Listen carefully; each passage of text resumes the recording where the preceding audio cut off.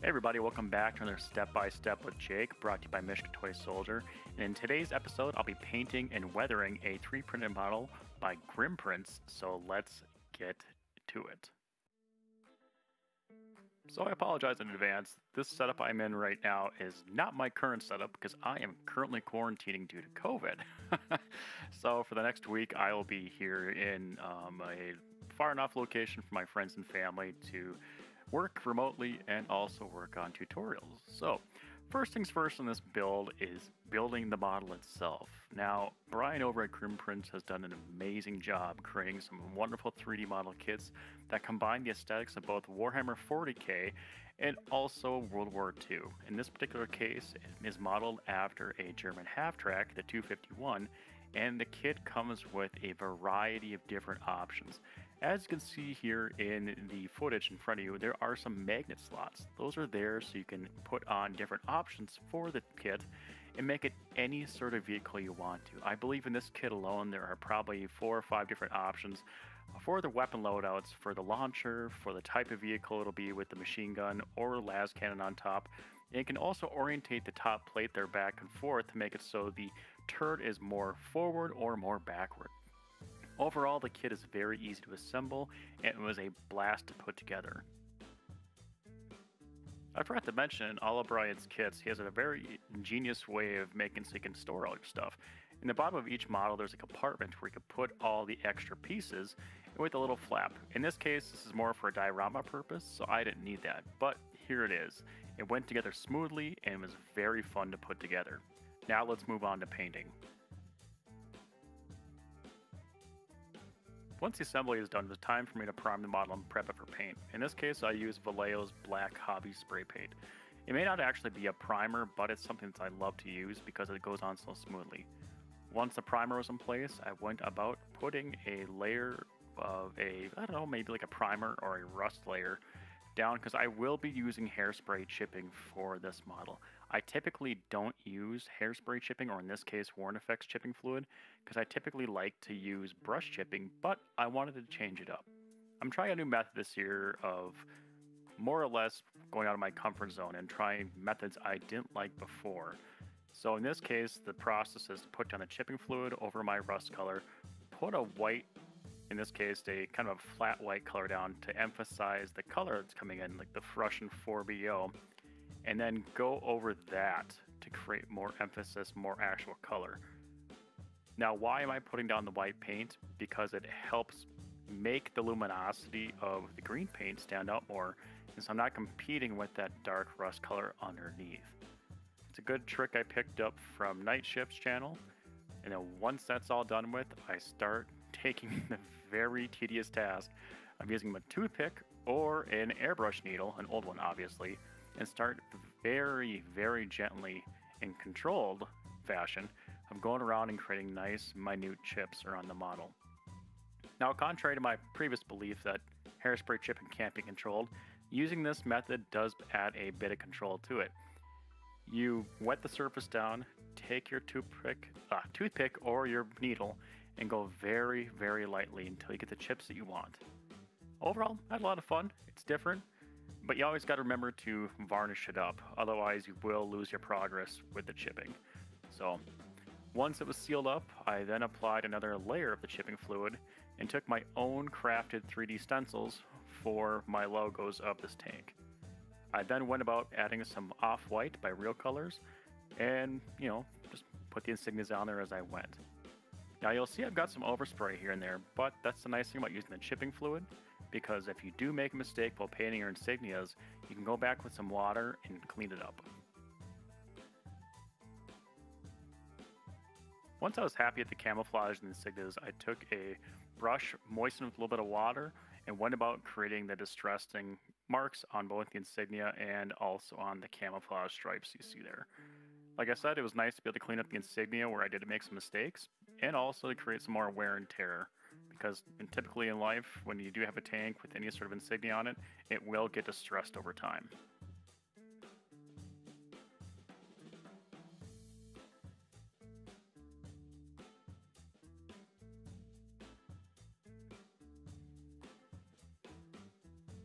So with the painting process out of the way, it's time to get down to the weathering stage. I wanted to try something new out this time, so I took out the new-ish shaders by Ammo and got the light rust color out. I've had these for a while, but never really got into them until I saw Night Shift's video about how to use them correctly when looking to emphasize and add some different, you know, effects to the model. I took the light rust wash, put that over the chipping area, also any area with a lot of wear, and I took the dirt and grime version of one and went around all the recesses that I could. This really was a good way to pop the model and add some contrast. And the nice thing about it is if you mess up, they are water soluble, so I just took a little bit of Q-tip there and then went back and cleaned it up. But one thing to keep in mind though is that they are water soluble, so if you do add any sort of water product, like an acrylic on top of it, it will come off. So I always suggest, like in this case, do a satin varnish before you do anything else, just to keep your, process, your uh, progress there preserved, and then move on. Now, at this stage, I started using more weathering oils in my workflow because I like them a lot better than my enamel washes.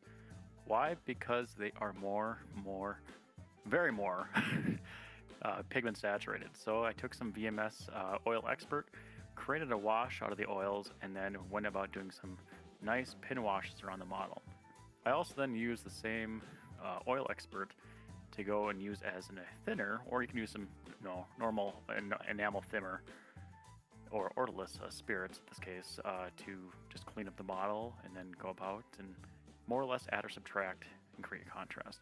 Now I will admit I'm not sure where the footage went when I did the tires and the metal bits in the model, but I can tell you it's just a you know kind of like a brown black or a, a dark dark gray for the tires and the different steel elements in the model.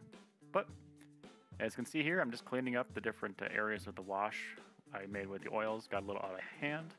And I'm more or less blending it too, so I'm not just completely taking it away.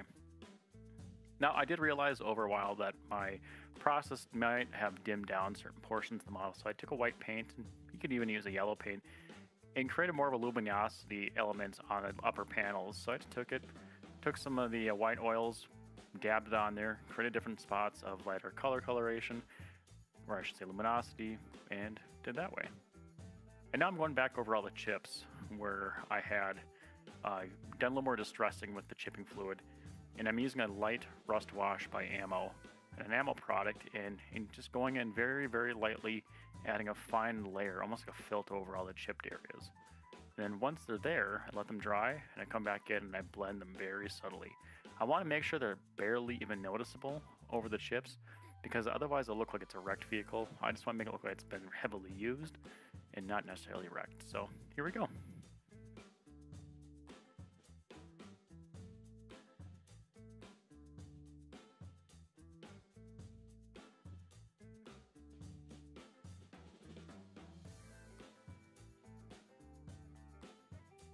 Now that the oils and contrast portion out of the way, I decided to get out the Earth Pigments by VMS and really give these a run for the money. I typically stay away from using pigments because I personally hate them because they can come off.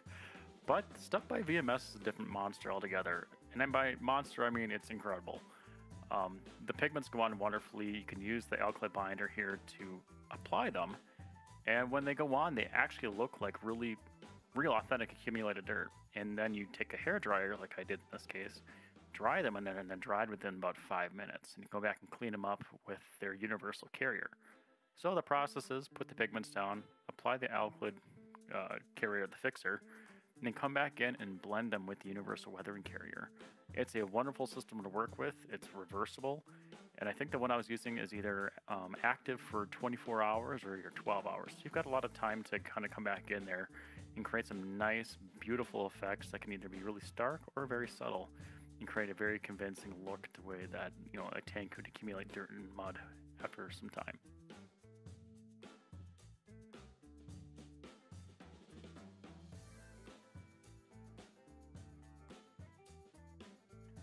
So for the lower portions of the model, I wanted to make it look like it's been out in a very dense forest with a lot of mud, probably right around like a springtime.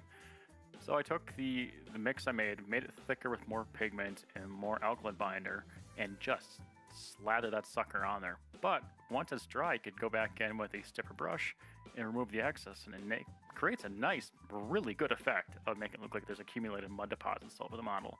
or that nice, you know, like kind of crusty look to it. The mud's damp, but not quite sloppy.